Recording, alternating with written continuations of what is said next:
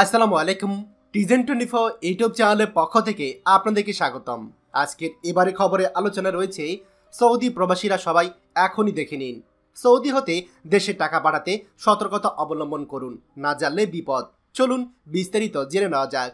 প্রিয় সৌদি প্রবাসী ভাইগণ, সৌদি আরবের চোদ্দই মার্চের পরে বা আগে আপনারা যারা নতুন করে চুক্তিবদ্ধ হয়েছেন, তাদের উদ্দেশ্যে একটি কথা বলতে চাই। আপনাদের অবশ্যই নতুন চুক্তিপত্র হয়েছে। সেই চুক্তিপত্রে আপনার বেতনটা কিন্তু স্পেসিফিকই উল্লেখ করা রয়েছে।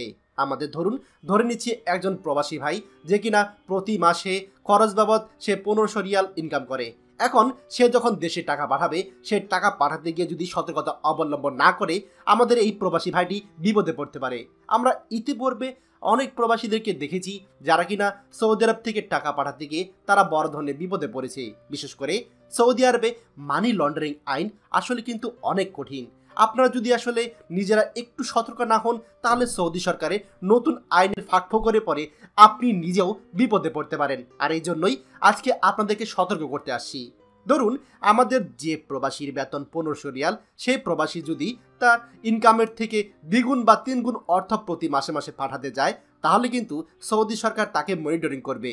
অনেকেই প্রশ্ন করতে পারেন, ভাই, আমি টাকা পাঠাবো সৌদি আরবে ব্যাংকের মাধ্যমে, সৌদি সরকার কি আমার টাকা মনিটরিং করতে পারবে?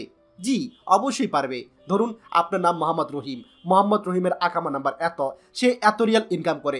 এগুলো সব কিছু চুক্তিপত্রে উল্লেখ আছে, আর চুক্তিপত্রগুলো ডিজিটাল তার মানে সৌদি আরবে যে মানি লন্ডারিং কমিটি বা সামা রয়েছে, সামা কিন্তু সবই দেখতে পায়। মোহাম্মদ রহিম আসলে কত টাকা কামাই করে এবং সে যখন কোনো ব্যাংকের মাধ্যমে টাকা পাঠাবে, সেখানে সে কত টাকা পাঠাচ্ছে সেটাও কিন্তু সামা মনিটরিং করতে পারে। এভাবে যখন কোনো প্রবাসী বারবার নিয়মিত এভাবে তার বেতনের থেকে বেশি টাকা পাঠাবে, তখন এই প্রবাসীকে জিজ্ঞাসাবাদের জন্য আটক করা হতে পারে। ইতিপূর্বে অনেক প্রবাসী এরকম জিজ্ঞাসাবাদে আটক হয়ে তারা ধরা খেয়ে গিয়েছে।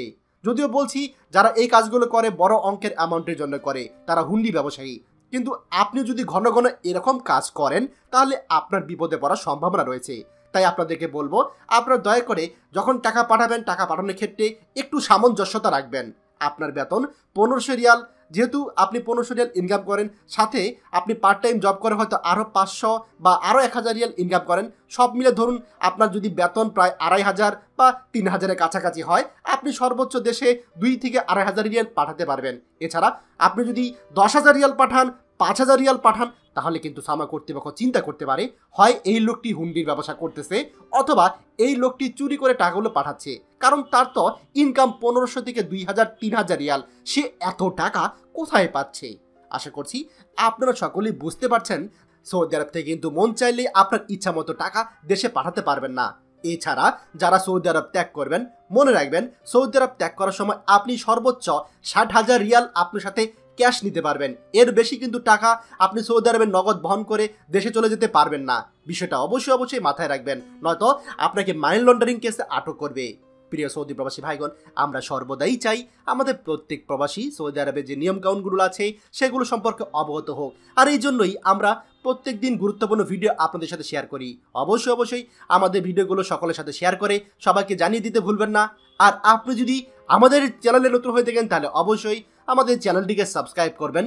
সৌদি আরবের সকল গুরুত্বপূর্ণ খবরাখবর সবার আগে পাওয়ার জন্য ধন্যবাদ সবাইকে। বাংলাদেশের প্রথম প্রবাসী নির্ভর ভেরিফাইড ইউটিউব চ্যানেল টিজেন টোয়েন্টি ফোর তাই দেরি কিসের? এখনই আমাদেরকে সাবস্ক্রাইব করুন। সাবস্ক্রাইব করতে সাবস্ক্রাইব আইকনে ক্লিক করুন এবং বেল আইকনটি চাপুন, যাতে আমাদের কোনো নতুন ভিডিও আপনি মিস না করুন।